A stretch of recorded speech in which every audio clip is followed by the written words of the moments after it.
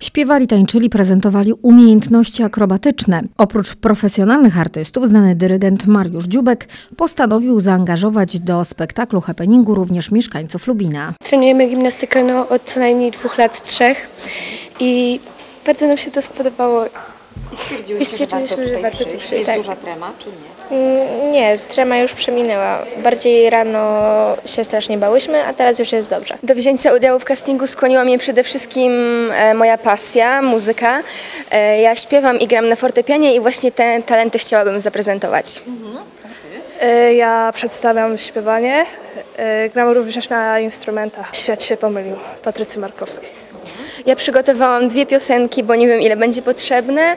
E, Niech żyje bal Maryli Rodowicz i If I Got You e, Alicia Keys. Żeby następną przygodę przejść, żeby zobaczyć. Mimo, że chodzę na inne castingi, to chciałam tutaj akurat na miejscu być i zobaczyć.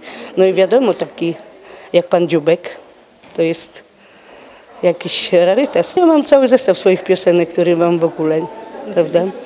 Czyli jeszcze nie ma nic zaplanowanego? Nie, myślę, że mimo, że on wybierze. Ten dzień będzie obfitował wiele prób. To będzie, to będzie ciężki dzień dla wszystkich wykonawców, dlatego ta młodzieńcza energia tu jest potrzebna, ale jeżeli y, ktoś czuje młodzieńczą energię no w każdym wieku, zapraszam serdecznie. To będzie widowisko przepełnione muzyką, tańcem i światłem. Scena będzie nietypowa, bo oprócz tradycyjnej sceny, która będzie usytuowana y, na dworcu, y, no naszą główną sceną będą tory.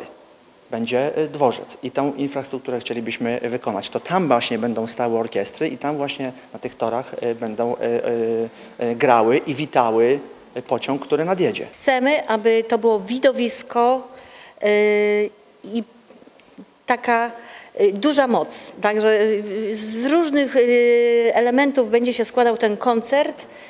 I myślę, że kto był na koncercie w tamtym roku z okazji yy, yy, zbrodni lubińskiej, będzie chętnie przyjdzie i zobaczy, że to będzie coś cudownego, co dalej zawsze będziemy wspominać. Powrót pasażerskiej kolei w Lubinie zaplanowano na 9 czerwca.